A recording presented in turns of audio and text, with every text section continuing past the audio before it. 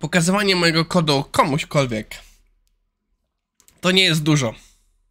I to nie działa. A dzisiaj o używaniu parse inta, o deadline'ach i kubek różności. Zaczynamy.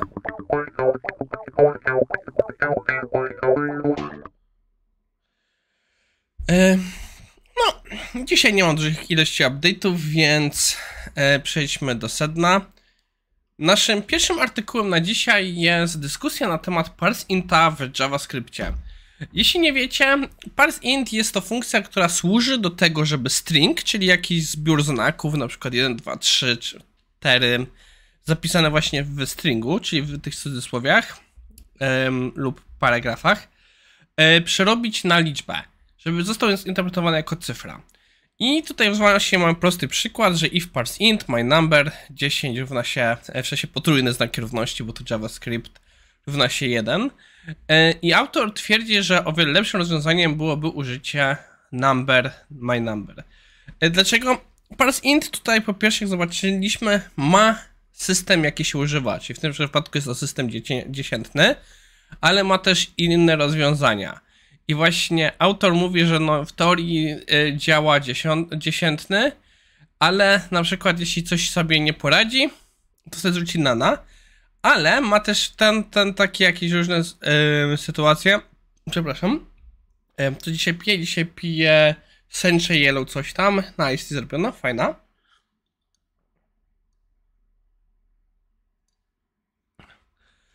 Y, no i jeśli dobrze zapamiętałem, problem jest taki, że parseInt sobie radzi z tym, że jak mamy na przykład jakiś string, który jest przerwany przez wartość tekstową, to on po prostu doczyta do tamtego miejsca i zwróci e, wartość. Czyli na przykład jak mamy 5e2, to on zwróci tak naprawdę e, 5, a w wypadku e, w wypadku e, numbera to już zwróci całą wartość. W tym wypadku nie jestem do końca przekonany. W sensie, no E to można potraktować jako wartość liczbową. W każdym razie, no, mamy tu rozpisany przykład, jakie będą różnice między parsem a, yy, a właśnie a numberem. Że mamy A, to dla będzie, że to nie jest liczba, 1, 1 będzie tak samo, 5, E2, czyli jak mamy coś zapisane w systemie yy, szesnastkowym. O! Przez systemy z 16, przepraszam, coś przysypiam, to widzimy, że no nam sobie poradzi, ale na przykład 16px, czyli już ym, coś takiego bardziej, że mamy jakieś rozszerzenie na końcu, number nam rzuci, że to jest not a number, ale już na przykład parse int powie, że to jest 16, bo po prostu znalazł numer i później skończył. Przyznam się szczerze, nie wiedziałem, że takie są różnice między oboma metodami. E, przyznam się bardziej, nawet nie do końca co wiedziałem, że można tak używać number, bo no ja nie jestem JavaScriptowcem za bardzo. E, autor dalej wchodzi w różne dyskusje na temat e, różnicy w czasie wykonywania, później jest e, parę dodatkowych benchmarków, ale najważniejszą różnicą jest taką, powinniśmy używać number zamiast e, part inta. Przepraszam, zdziemnąłem się na chwilę i Chyba się niekoniecznie wszystko mnie dobrze działa w głowie. Naszym drugim artykułem na dzisiaj jest dyskusja na temat deadline'ów i tym, jak to ma zły wpływ na zespoły scrumowe. Ja bym powiedział ogólnie zespoły agile'owe.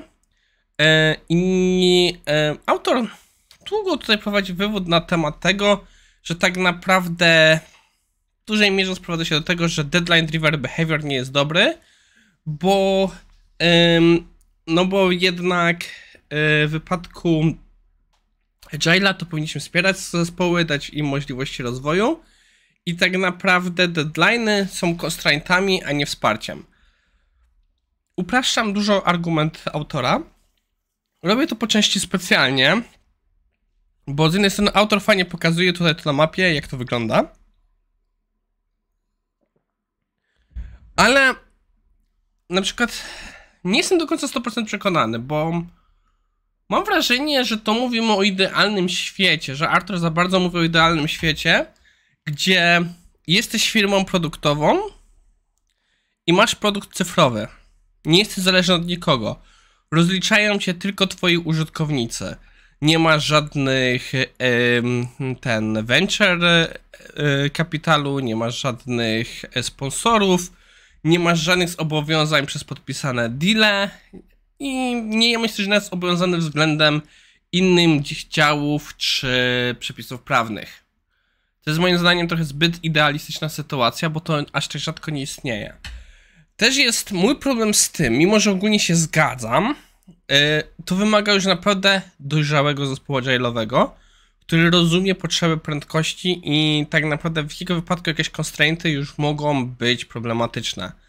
Ale w wypadku niedojrzałego zespołu to brak constraintów, brak tego jakiegoś deadline'u może powodować to, że po prostu praca się rozejdzie, że po prostu nie będziemy dostarczać minimalnego MVP na początek, tylko będzie się po prostu będzie się po prostu to nieskończona praca.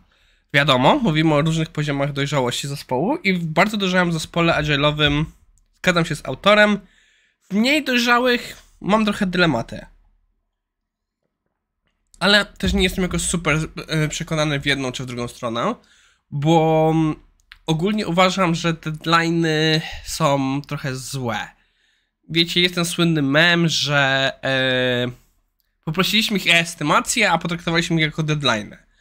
Że jest w tym tutaj, tutaj dużo, dużo prawdy. Autor też zostawia na koniec tutaj także e, przykład, co można zrobić, żeby pozbyć się deadline'ów i dalej, żeby uzyskać jakieś efekty